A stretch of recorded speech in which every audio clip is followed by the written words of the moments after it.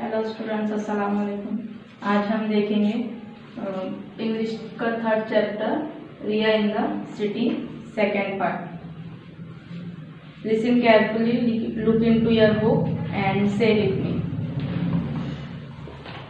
keep your forefinger on your book okay let's start that's a grocery shop near my house there we buy grains oil salt sugar biscuit and many other things can you name them आप लोग उसके नाम बता सकते हैं और आगे।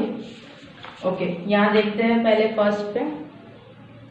Grocery shop है ये, वहाँ पर सिटी में जिस तरह होती है मॉल टाइप होता है ये। यहाँ पर एक क्रॉकरी लेते हैं और उसमें सामान जमा करके डालते हैं। और यहाँ पर बहुत सारी चीज़ें हैं biscuits sugar and oil grains सब अलग अलग डिपार्टमेंट में रखे हुए हैं। यहाँ पर है ये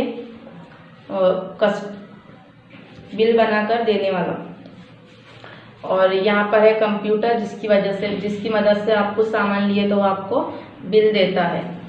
Okay now next paragraph is I am in standard three we go to school by bus we learn Marathi English mathematics and study our environment in school our English text book is called my English book three तो देखिए, ये लड़की जो है रिया, वो third standard में है और स्कूल जो है तो बस से जाती है।